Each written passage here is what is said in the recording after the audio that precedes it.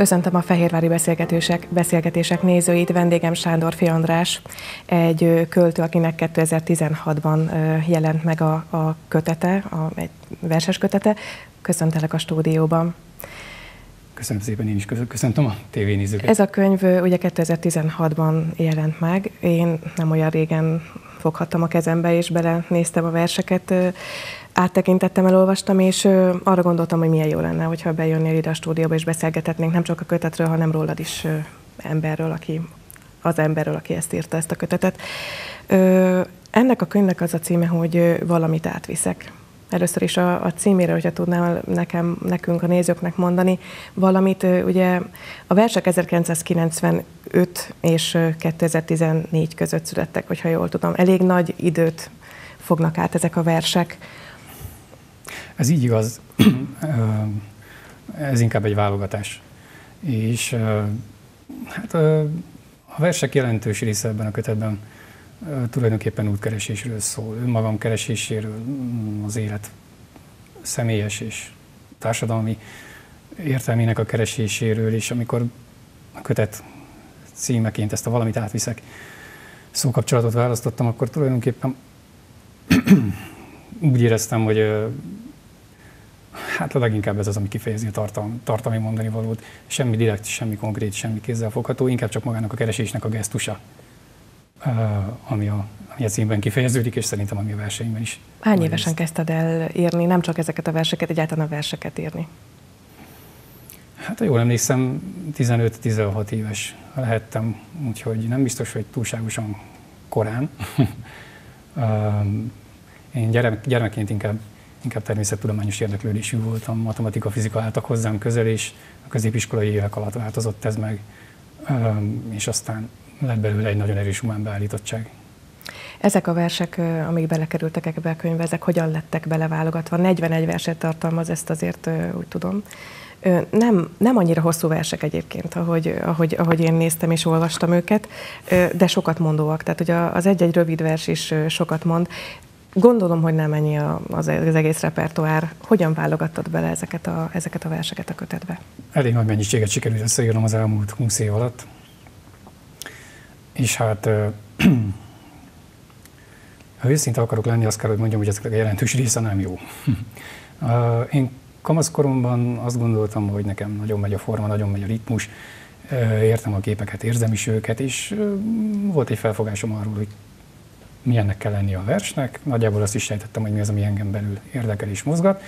Ennek a, mindennek a szellemében és tükrében nekiálltam verseket írni, ami akkor boldogá tett rendkívüli módon tudtam örülni minden egyes megszülető szövegnek. De aztán teltek múltak az évek, és ahogy három-négy-öt év távlatából ezeket a szövegeket visszaolvastam, utólag mindig nagyon nagyot csalódtam. 90-95%-át a szövegeknek félretoltam, nevetségesnek tartottam már, vagy sírni tudtam volna, annyira gyenge volt, vagy formailag, vagy tartalmilag nem felelt már meg az időközben megváltozott ízlésemnek de természetesen újraírtam azokat a szövegeket, amikről azt gondoltam, hogy legalább minimális mértékben tartalmaznak értéket. Igen, ahogy néztem, hogy vannak benne olyan versek, amik azért 2004 és 2015 között írottak. Már hogy így nem egy, nem egy hosszú versről van szó, például a Távolodó című vers négy, négy verszak, és mégis ilyen nagy időszakot ölel fel akkor ez azt jelenti, hogy, hogy elővetted, újraértelmezted, vagy pedig elővettél mondjuk egy két verszakot, és ahhoz még hozzátettél kettőt, ezt hogyan kell értelmeznünk? Mindig újraértelmezem, és hát ennél a versnél maradva, itt az első verszak, az az, amit képtelen voltam összerakni hosszú éveken keresztül. Olyannyira nem ment, hogy 2015-ben, amikor már a kötetnek a szerkesztésével foglalkoztam, föl se vettem a listára, pont azért, mert éreztem, hogy hiányzik az eleje.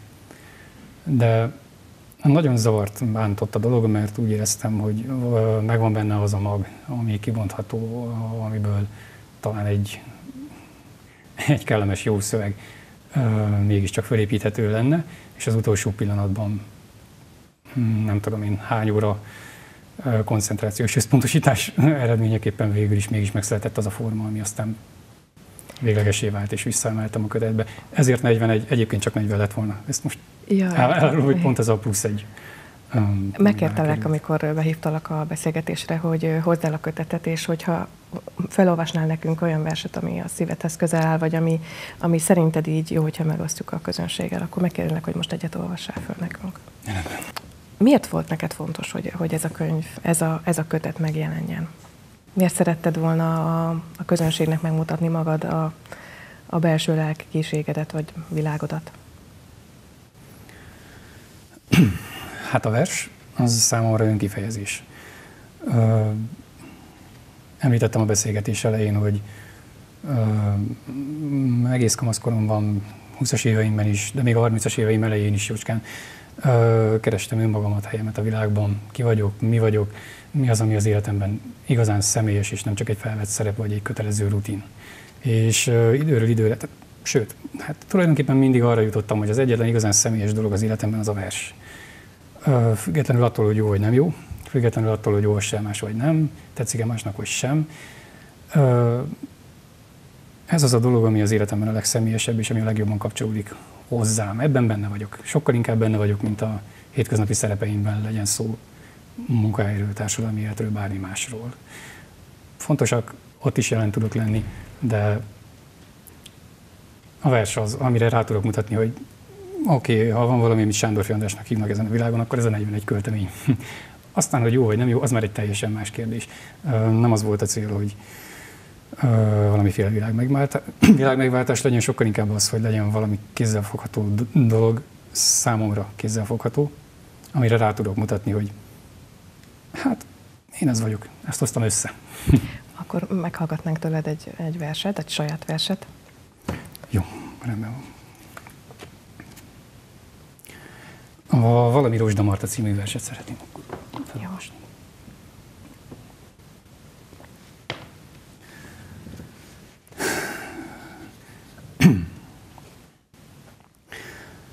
Valami Rozsda Marta.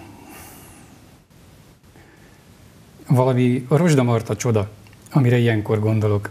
Valami titkosan fénylő, amit még megtisztíthatok. Valami elemi, ősi erő, mint a legelső atom magja, benne az élet igéje, szikrázó, izzó magma, és körülötte a gyűrűk, a minden részletek. Milliónyi szándék mégis összecsengenek, s ha erre gondolok, szinte visszatér hitem. Igen, valami kedves Isten is van ott talán, e titkos gyűrűk metsző sugarán, és meg lehet, ha szétforgácsolódik majd a rend, leheletével újra fényt teremt, egy új harmóniát. Valami a csoda, amire ilyenkor gondolok, hogy nem csupán a porból, és tán bűnös sem vagyok, hanem csak élek, élek. És ha néha dobbanok, azt mélyenből teszem felizzó lényegemből, akár a világegyetem, és épp úgy lüktetek én is, hiszen mit összehúznak szívem izmai, végül mind kiengedem. És muszáj, hogy így legyen, hogy létezzen valami csoda, egy apró, egy örök szikra, szívem epicentruma, amit még helyrehozhatok, amiben újra születhetek, és amiből elindulhatok végre feléd. Nagyon-nagyon szép ez a vers. Most nem kerestem ki, ez mikor született ez a vers? Mikor íródott? Ha jól emlékszem, 2012-ben. Ez nem is volt még akkor annyira. Hát egy jó hat év. Igen. Hat év távlat. Így van, 2012 őszén. Erre egész pontosan emlékszem, hogy Vértes Bogláron. Majd még megvan előttem. Igen, ez is érdekes lehet, hogy a versek mennyire kötődnek. Nyilván élményekhez, ugye ez valahol a, a, az életről szól, illetve a legvégén azt hiszem a szerelem is ott van, ugye? Tehát, hogy így a, és a, ver, igen, és a, és a versek nagy részét, ahogy néztem, azért a szerelem azért, azért ott van az összes versben. Vagy legalábbis én felfedeztem, nem tudom, hogy mennyire van így. Ott van, muszáj ott lennie, mert az ember társas lény, és hát ha ez nincsen benne az érzelmi világában, akkor, akkor nagy a baj már mondtad ezt a vértes boglárt, hogy ott született. Tehát ugye ezekre a versekre azért úgy nagyjából így tudod is helyhez is kötni, hogy mikor születtek meg, mikor írtad meg, mikor jöttek ezek a gondolatok? Hát minden kéziratot őrzök, tehát ha azonnal nem is jut eszembe, mert mondjuk 10-15 évvel ezelőtt született, ha visszakeresném a kéziratot, ha ránéznék a papírra, föl tudnám idézni. Föl tudnám idézni. Én nem vagyok egy versíró alkat egyébként, nem, nem is tudom, hogy ez hogyan néz ki De hogy hogyan, tehát hogy az ember hogyan áll neki egy, egy verset megírni, hogy fogalmazódnak benne a gondolatok, és egyszer azt mondja, hogy leülök, ezt most akkor már papírra vetem, vagy, vagy jönnek a gondolatok, próbálja leírni, és aztán átvickálja, és megy tovább. Jó, azért én is láttam már íróknak és költőknek a kéziratait, tehát gondolom, hogy azért van ilyen is benne, de hogy nálad ez, ez hogyan néz ki? Hát nálam ez munka. Az a ritka szerencsés eset, amikor tényleg megvan bennem egy, egy gondolat vagy egy érzés, és hatalmas erővel ki akarom írni magamból, az egy ihletett állapot, de az nagyon ritka.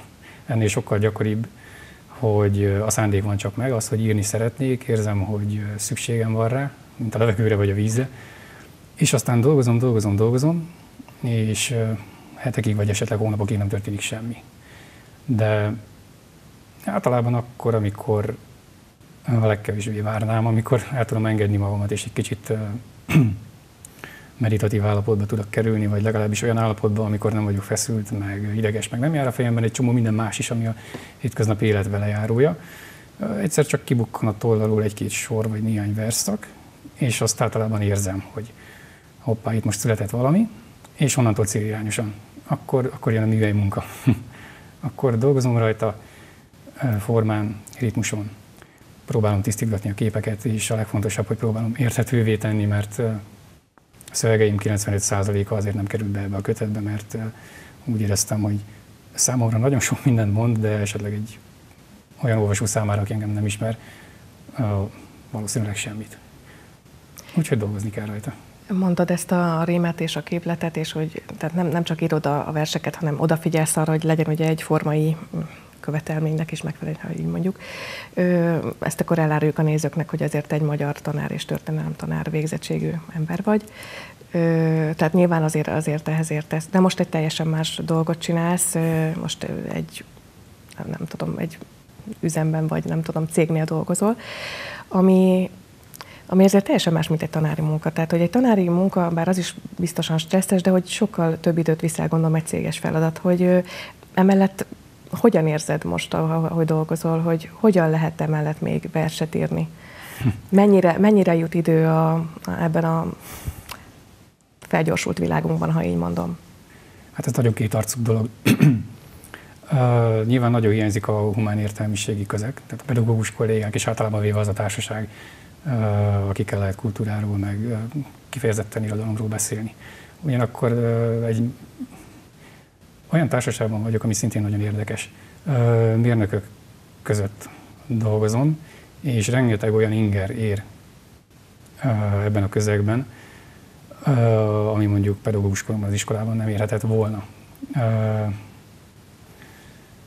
A verseim egyébként tele vannak a műszaki világból, vagy kifejezésekkel és képekkel, és ez nem a véletlen műve. Egyszerűen azért kerültek bele, mert Munka közben fölismertem egy-két olyan jelenséget, mm, tárgyat, fogalmat a, a termelés, vagy a, általában vagy, vagy mérnöki világ közegében, amit én aztán később szimbólumként használni tudtam a saját költészetemben, és rájöttem, hogy teljesen mindegy, hogy az ember honnan meríti a képeit, legalább olyan izgalmas tud lenni a műszaki világból hozott képi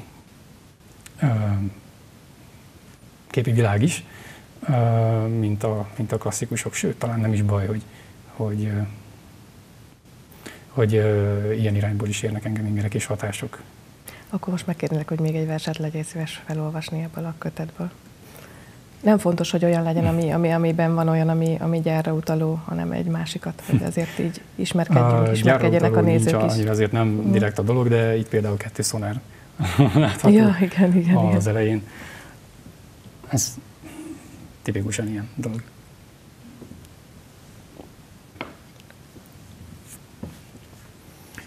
Legyen akkor egy olyan, amiben valami, Jó. valami műszaki is van. ha megtalálom. Jó, akkor ez a Valamit átviszek című költemény lenne, ami egyébként a címadó Ami a darab is. Igen, a Valamit átviszek.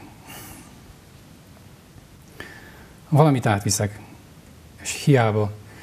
Magam sem értem, nem látom pontosan, és nevezni sem tudom. Épp csak a lüktetését, miként a jó radar, egy-egy nap megérzem, és nagy ritkán felfogom, de a kód Az ismeretlen. Forgatom magamban, hát ha kibomlik, és hiába nem látok más jelekben csupán apró, villanó impulzusokat, és dokumentálom a tényt, hogy létezik. De át fogom vinni. Magamban, melkasomban, át az életen, és óvni, vigyázni is fogom. Hát, ha én vagyok.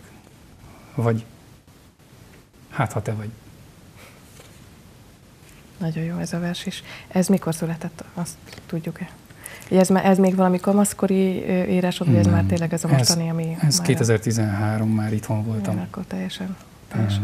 Uh, ipari környezetben. Igen. A, ha már itt a címről beszélgetünk, és ezt a verset olvastad fel pont, ami a, ami a címadó. Miért pont ez lett a címe? Miért pont ez a, ezt a verset idézi meg a cím? Hogyan választottad ki?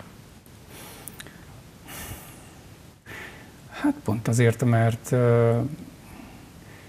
az az útkeresés, célkeresés, társkeresés fogalmazódik meg benne szerintem eléggé komplex módon, amiről tulajdonképpen az összes többi szövegem is szól, csak talán specifikusabbak. Ez pedig egy elég általános szöveg, ha bár a vége inkább a társkeresés felé viszi el a szöveget, valahogy mégis úgy éreztem, hogy talán, talán ez a címa a legteljesebb. De egyébként lehetett volna bármi más is. Rám volt bízva a szerkesztői munka, úgyhogy... Mennyire, mennyire nehéz ma egyébként egy költőnek kiadni egy könyvet, elindulni ezen, a, ezen, a, ezen az úton? Hát szerintem nagyon. Nem is tudom, hogy nekem egyébként hogyan és miért sikerült. Ez egy abszolút véletlen. Egy ideig küldözgettem verseket folyóiratok számára, legnagyobb részt visszautasították őket, teljes joggal, így utólag azt mondom. Hébeóva egy-egy meg is jelent, de nem nagyon találtam annak a lehetőségét, hogy nyomtatott formában megjelentessek akár csak egy ilyen néhány oldalnyi vastagságú füzetet. Igen sok lehetősége van az embernek rá, hogyha tudja vállalni ennek az anyagi fedezetét.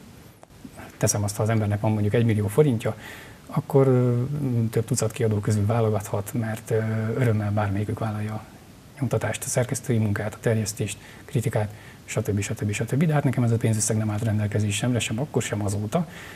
Így aztán én addig-addig kerestem az interneten, amíg meg nem találtam azt a kiadót,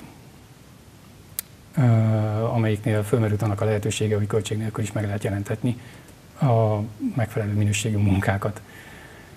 Vettem egy mély lélegzetet, összegyűjtöttem azt, amin van, akkor még 40 később 41 szöveget beküldtem, és óriási meglepetésemre pozitív választ kaptam. Természetesen először ők is egy igen komoly ajánlattal kerestek meg, mindent elvégeznek, nagyszerű lesz, rengeteg példányszám, stb. stb. stb. és akkor itt a csekk.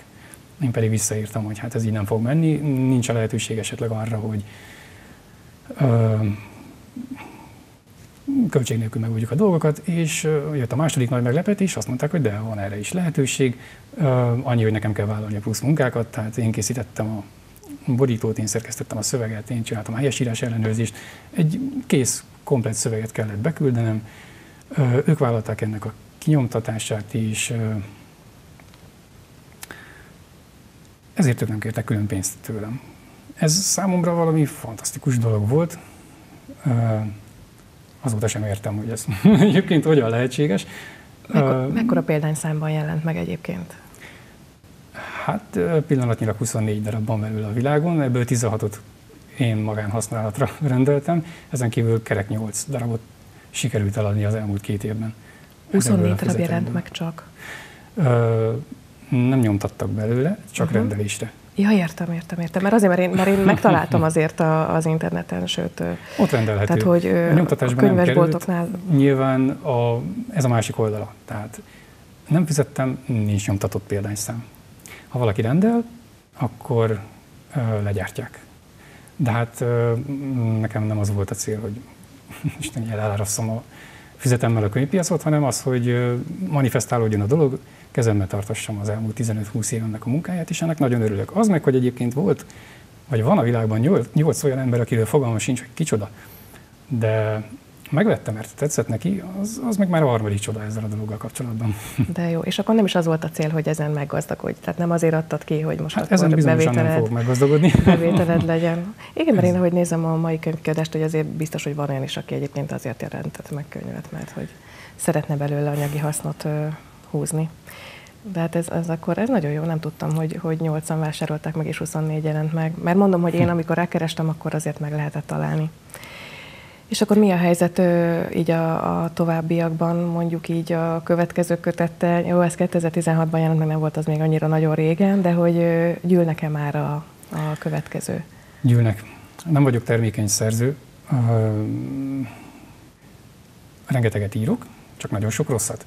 5-6, 7-8 szövegnél több nem szokta túlélni az egyéves időintervallumot, úgyhogy Szerintem eltart még egy darabig, ami a második is összejön, de úgy nagyjából a fele már megvan a következőnek is, és, és a töretlenül dolgozom rajta. De akkor ez úgy van, ahogy mondtad, hogy ezeket elteszed, ezeket a kéziratokat, és akkor előveszed, és még gondolkodsz rajta, hogy mi lehetne. Így van, így van. Elteszem. Ö, személyes ö, kötődésem van minden egyes papírlaphoz, a, a, a, amin írok, akkor is, ha az nem vers. Tehát akkor most, akkor, ha a jövőt nézzük, akkor még lehetséges, hogy lesz még egy kötet, attól függetlenül, hogy nehéz a kiadása, és hogy most még egyelőre nem olyan nagyon sokan vásárolták meg a verseidet. Mert hát azért lehet, hogy lesz még egy kötet, amiben azért újra beletetsz újabb üzeneteket a, a Én nagyon szeretném, hogyha egy-két éven belül ez a második is elkészülne. Dolgozom rajta. Aztán majd meglátjuk. Nagyon szépen köszönöm, hogy a, hogy a vendégem voltál, a vendégünk voltál. A Valamit átviszek című kötetet tényleg mindenkinek uh, tudom ajánlani, mert uh, Sándor András fehérvári, és nagyon-nagyon-nagyon jó gondolatokat ír le a könyvében. A fehérvári beszélgetéseket látták, kövessenek bennünket holnap, és holnap újabb vendéggel várjuk Önöket. Viszontlátásra! Köszönöm szépen a lehetőséget!